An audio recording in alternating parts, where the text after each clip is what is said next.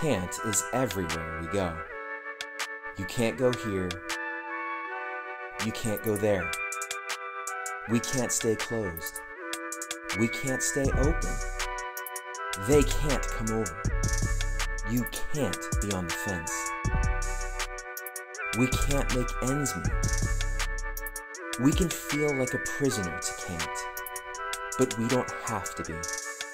What if we opened ourselves up instead of closing ourselves off? What if we looked for new opportunities instead of limiting them?